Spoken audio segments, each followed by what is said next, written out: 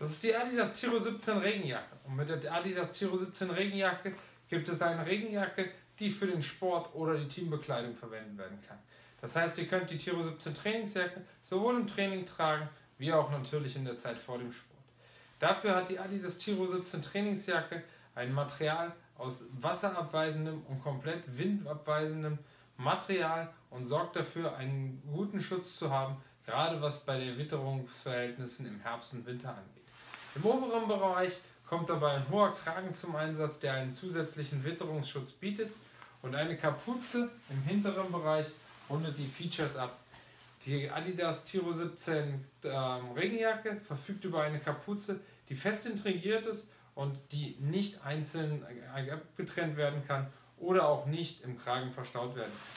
Seitliche Taschen im Bereich der Seiten sind mit einem Reißverschluss ausgestattet und im inneren Bereich verfügt die Adidas Tiro 17 Regenjacke über ein Mesh-Material, das einen zusätzlichen Komfort bietet.